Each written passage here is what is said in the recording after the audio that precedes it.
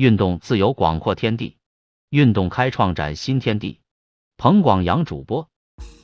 比尔弯弓，主义庆功。做东的球队在上半场肆意发挥，攻下三十四分，中场净赢三十七分。现年二十八岁，身高六尺五十的纽约水牛城比尔队当家四分卫艾伦 Joshua Patrick Allen，九月二十三日晚间七时三十分起，在纽约上周州高点球场 Highmark Stadium 面临冷飕飕的天气，于七万三百一十六名现场球迷观赏之下，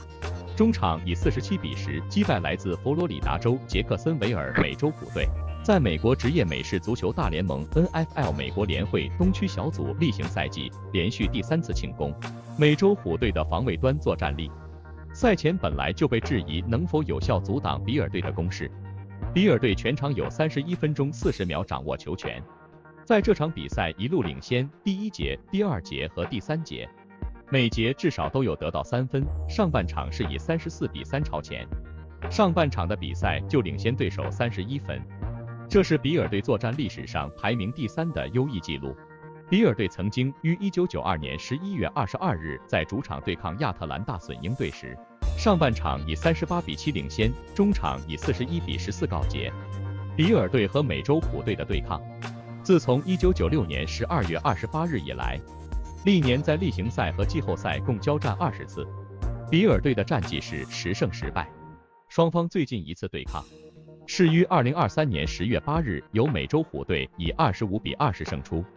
艾伦在全场发动攻击，没有遭到过拦截，总共和九名队友合作传球三十次，其中二十三次成功，最长传接距离二十八码，累计传接推进两百六十三码，有四次传接成功达阵，没有遭到擒杀。同时，也和二十四岁的队友跑锋库克 James Delvin Cook 合作发动十一次冲锋，累计推进三十九码。有一次达阵，以及和另外一名跑锋戴维斯 （Raymond Walter Jamar Yamar Davis） 合作发动七次冲锋，累计推进二十二码，也有一次达阵。彭广阳，二零二四年九月二十四日。